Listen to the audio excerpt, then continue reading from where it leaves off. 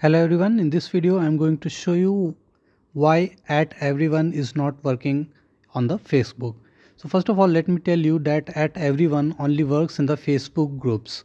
Okay, the second point is that the Facebook group must be created by you. Third point is that you must be the admin of the Facebook group. Of course you have created it so you must be the admin.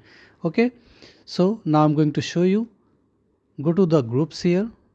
Now you need to open up your group so this is the second group that I have created. Now there are 18 of my friends.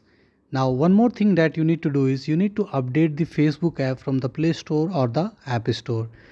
Now uh, this method will work both on the Android and iPhone. So once you are here inside your Facebook group in which you are the admin simply write a post and you need to type in at the rate. As soon as you will type this you will get something like that at everyone. Okay now it will work perfectly. Now you can post a pic or you can post a video or you can simply write a post and everyone inside this facebook group will be tagged. If you are trying to uh, use at everyone in an in your normal profile post then it won't work here okay?